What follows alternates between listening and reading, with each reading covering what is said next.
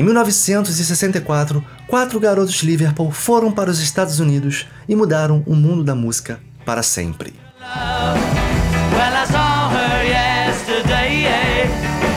Desde então, nenhuma outra banda influenciou tanta gente quanto os Beatles. Eles influenciaram a cultura em geral, moldando não apenas o cenário musical, mas também a moda, o comportamento da sociedade e até mesmo a política. A enorme influência dos Beatles na música moderna é perceptível em todas as esferas. Todas as bandas que vieram depois, direta ou indiretamente, se influenciaram neles. Mas algumas bandas abusaram um pouquinho do que seria uma influência saudável. No vídeo de hoje nós vamos ver sete bandas que copiaram melodias dos Beatles. Então se você aprender algo novo, se você curtiu o vídeo de hoje, não se esqueça de se inscrever aqui no canal e dar o like no vídeo porque isso me ajuda tremendamente, beleza? Bora lá pra lista! Em 1996, a banda americana de punk Sublime lançou a música What I Got, que possui uma melodia muito parecida com Lady Madonna.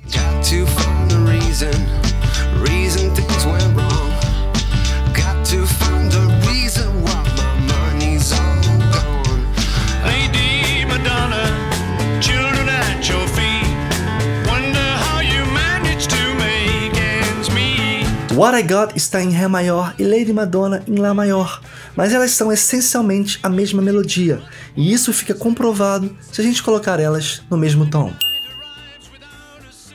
Se tem uma banda que nunca tentou esconder que os Beatles era a maior influência deles, essa banda é Oasis, mas na música Sis Electric essa influência beira o plágio.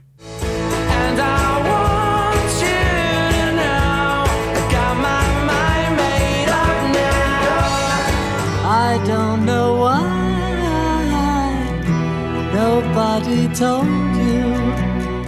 Mais uma vez, as músicas estão em tonalidades diferentes, mas nós já vimos que isso é o de menos. Elas também possuem essencialmente a mesma melodia. Aliás, essa não é a única música dos Beatles no qual o Oasis resolveu prestar uma homenagem, digamos assim, em She's Electric.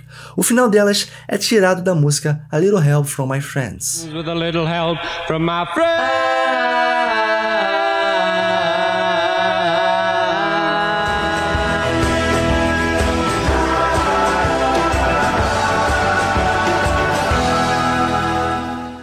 E mais uma banda punk que abusou das semelhanças foi The Offspring na música Why Don't You Get a Job.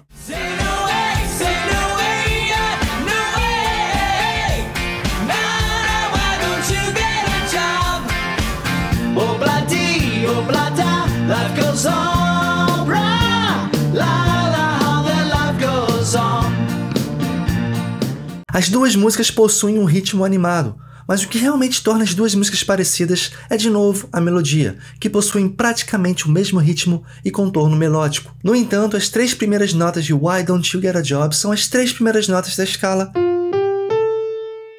comparada com as três primeiras notas de Obladi Obladá, que são as notas 1, 3 e 5, o arpejo maior do primeiro grau. Além disso, assim como na música do Oasis, o final de Why Don't You Get a Job quase que parece uma menção a Obladi Obladá.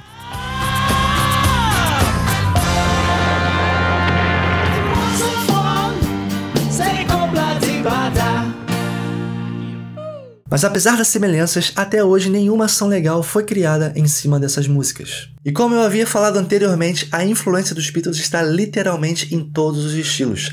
A próxima música da lista é do rapper americano Frank Ocean, na música White Ferrari.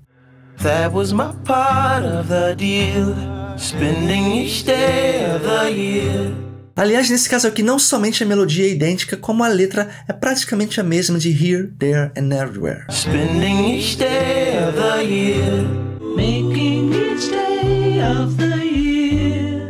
Dead Can Dance, o duo australiano, foram outros que roubaram uma melodia dos Beatles. Aliás, eu não sei nem dizer qual é o estilo musical de Dead Can Dance. Deixa eu perguntar pro chat GPT.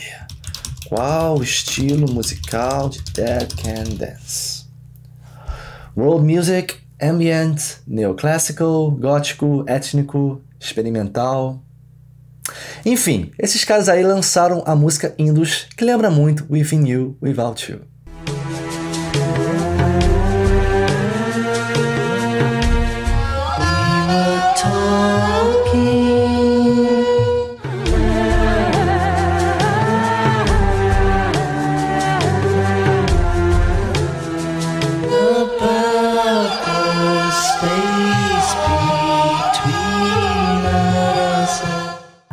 Semelhanças na linha melódica, ambas as músicas têm o mesmo estilo e fazem uso da citara indiana. Apesar disso, o duo alegou que não conhecia a música dos Beatles e assim que eles notaram a semelhança, eles entraram em contato com George Harrison pedindo autorização para usar a melodia. George Harrison concordou e deu autorização. Porém, a gravadora de Harrison exigiu que eles acreditassem Harrison como coautor da música, presumidamente recebendo parte dos royalties. A próxima música da lista ela é muito obscura, eu acho que ninguém aqui vai conhecer ela. Ela é de um joguinho de Mega Drive que eu jogava quando criança, chamado Dynamite Harry, e desde criança eu havia notado a semelhança dessa música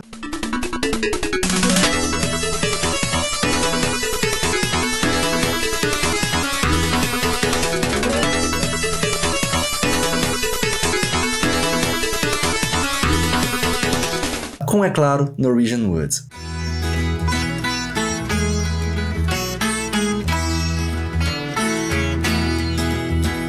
E eu deixei para o final o caso mais gritante de plágio aqui da lista. A música é The Killing of George Part 2, do ilustríssimo Rod Stewart, que inclusive já foi tema de vídeo aqui no canal, falando sobre outro caso de plágio na música do Jorge Benjor.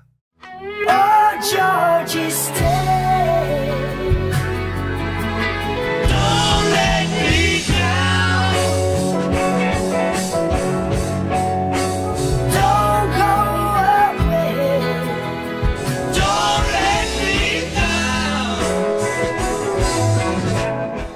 John Lennon, é claro, percebeu esse plágio descarado e ele não ficou nada feliz.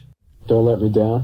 That's me singing about Yoko, which uh, Rod Stewart took note for note and turned into Ma Maggie, don't go. Uh, some girl's name. Maggie, don't go. Oh yeah. Yeah. Right, after one of the publishers never know. You're right. Yeah, he just took the song. Why didn't he just sing Don't Let Me Down? The same reason I don't sing other people's stuff either, because you don't get paid. Em entrevista dada em 2016 para o jornal inglês The Guardian, Sir Rod Stewart não demonstrou nenhum remorso. Abre aspas. Realmente parece muito. Nada de errado com um bom roubo. Mas não se engane, não pense você que os Beatles são pobres coitados que foram roubados. A verdade é que na música não tem santo. No vídeo futuro aqui no canal, eu vou falar de músicas que os Beatles roubaram de outras bandas. Então, se você é novo aqui, não se esqueça de se inscrever no canal para não perder esse conteúdo, beleza? Por hoje é tudo, pessoal. Muito obrigado pela sua audiência e até a próxima.